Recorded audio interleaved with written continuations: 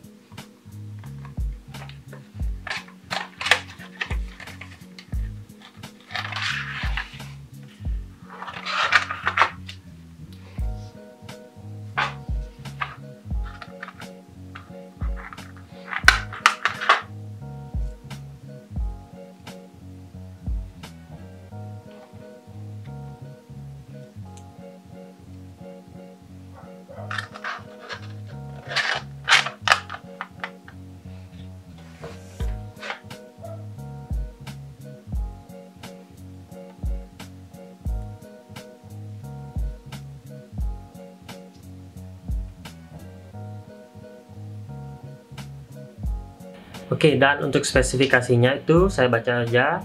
Form factornya itu M.2 2280, NAND flash 3D TLC, dan MTBF-nya itu 2 juta hours, 2 juta jam. Dan kebetulan kapasitas yang saya punya ini itu di 256 GB dengan antarmuka atau interface-nya itu di PCIe Gen 3 x 4. Dan untuk kecepatan tulisnya itu berada di up to 3000 MB per second dan kecepatan baca di 3500 MB per second.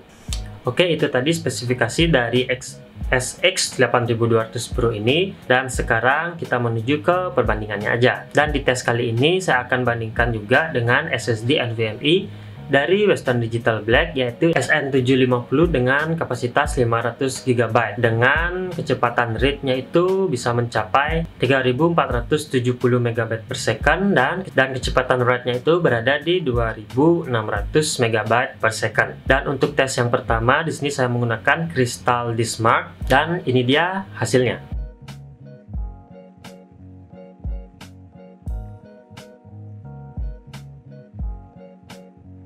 Mungkin di sini ada yang nggak ngerti tentang angka-angka yang dihasilkan dari hasil tes benchmark menggunakan Crystal Dismark, termasuk saya sendiri. Dan kebetulan saya search di internet dan menemukan artikel yang ngebahas tentang ini juga. Jadi di sini saya akan membaca sedikit tentang artikel tersebut.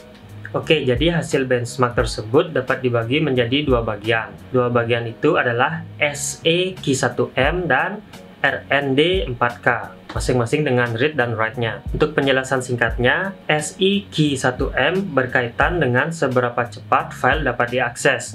Ini mempengaruhi lamanya startup Windows, berapa lama program dapat dibuka, dan seberapa responsif ketika berpindah antar program. Jadi bisa kalian lihat SI Q1M2 berada di dua kolom teratas di kristal di Smart. Dan untuk RND4K mencerminkan kecepatan transfer dan menulis data. Contohnya untuk menyalin file memindahkan file dan membuat file baru. Bagian inilah yang menjadi rating kecepatan yang dibuat oleh manufacturer. Jadi untuk RND 4K itu berada di kolom 3 dan 4. Jadi kurang lebih seperti itu. Jika ini masih kurang jelas, mungkin kalian bisa browsing dan research sendiri tentang ini. Dan di tes yang kedua, saya akan mencoba memainkan game Assassin's Creed Valhalla untuk mengetes seberapa cepat loading dari game tersebut.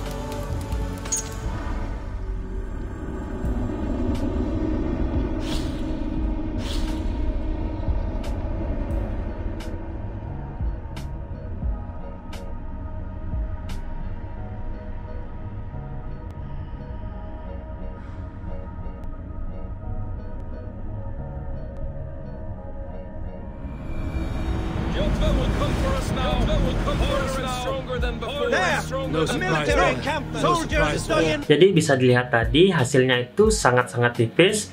X SX 8200 Pro cuma lambat 1 detik dari SN 750 dari WD Black. Untuk hasil perbandingan tadi, jujur saya nggak begitu tahu apakah kapasitas yang dimiliki sebuah SSD NVMe itu berpengaruh besar dengan performa yang dihasilkan dari SSD tersebut. Tapi kebetulan karena saya hanya memiliki SSD SN750 dari WD Black sebagai perbandingan, ya saya gunakan itu aja untuk tes kali ini. Dan terakhir untuk harga SX8200 Pro varian 256GB ini untuk di marketplace Tokopedia dan Shopee itu berada di kisaran 700 ribuan hingga 800 ribuan. Gimana menurut kalian tentang SSD ini? Jika kalian ada saran, pertanyaan, atau apa pun itu, silahkan tinggalkan jejak kalian di kolom komentar. Dan jika kalian menikmati dan enjoy dengan video ini, itu bisa kalian klik tombol like dan juga di share juga. Dan jangan lupa di subscribe juga. And once again thank you udah nonton. Saya Dwi dan sampai jumpa di video-video selanjutnya. Bye bye